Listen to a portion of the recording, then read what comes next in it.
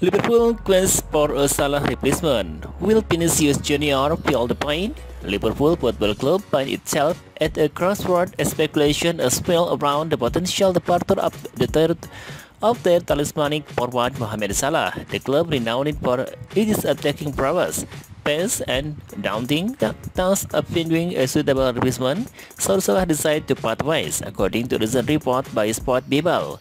Liverpool appears willing to break the British transfer record in pursuit of this replacement, with a particular focus on Real Madrid player Vinicius Junior.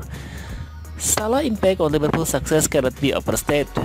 His remarkable goal-scoring record and collective contribution have been pivotal and to the club's achievement in the season. However, with the Egyptian international contract set to expire in 2025 and no agreement reached on extension, Liverpool faced the looming possibility of losing him for free. Sport reports suggest that Liverpool has identified Vinicius Junior as a prime candidate to fill Salah boot. The Brazilian forward currently flying his trade at Real Madrid has garnered attention from top clubs across Europe.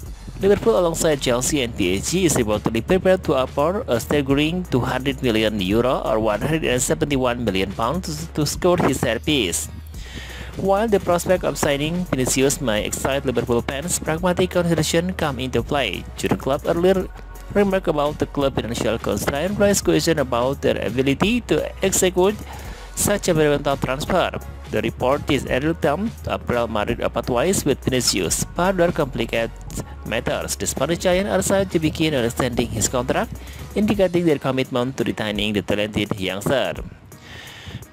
Beyond the complex cities of the transfer market, Vinicius' personal preference and add another layer of uncertainty.